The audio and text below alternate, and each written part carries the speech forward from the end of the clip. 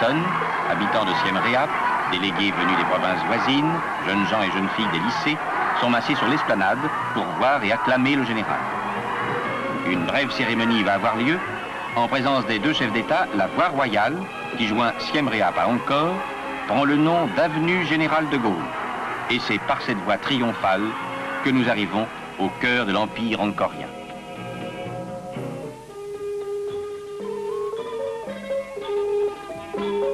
Angkor Wat, l'une des merveilles du monde, domine de ses cinq célèbres tours des dizaines de temples qui défient les siècles. Voici le Bayonne et ses tours.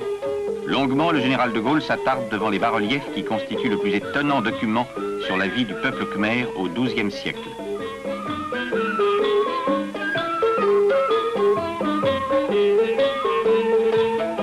Hélas, le temps est limité. Un coup d'œil en passant sur Takeu, puissant temple montagne.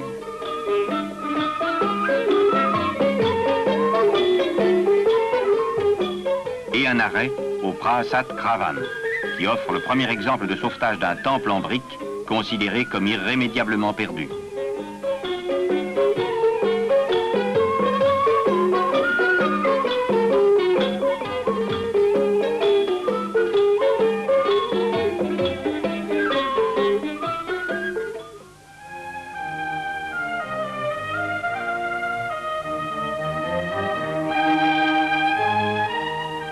Dès son retour à Phnom Penh, le président de la République reçoit la colonie française à l'ambassade.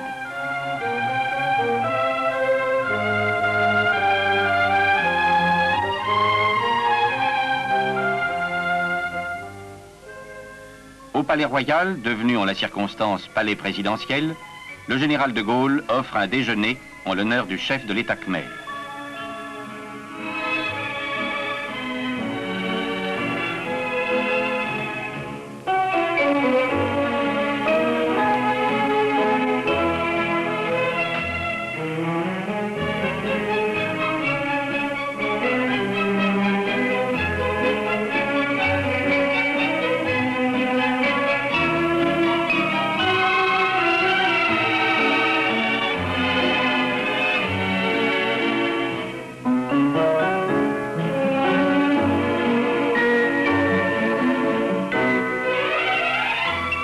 L'ambiance est extrêmement cordiale et l'on sent combien la confiante amitié franco-khmer est solide aujourd'hui.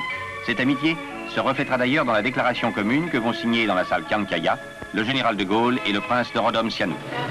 Les relations bilatérales franco-khmer ont évolué au cours des dernières années d'une manière extrêmement satisfaisante. Le général de Gaulle et le prince de Rodom Sihanouk ont accordé une grande attention au développement des échanges culturels, scientifiques et techniques, estimant que de tels échanges contribuent à renforcer les rapports d'amitié et servent en même temps les intérêts des deux pays. Cette déclaration constate en outre que les deux pays ont des points de vue similaires sur la gravité de la situation créée par la guerre cruelle imposée au Vietnam, et plus généralement par les ingérences extérieures dans les pays du sud-est asiatique.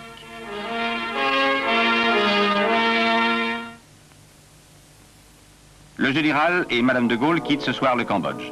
Sa Majesté la Reine remercie à nouveau le président pour le puissant soutien que la France accorde au royaume et se félicite que sa venue ait contribué à renforcer les liens entre les deux pays.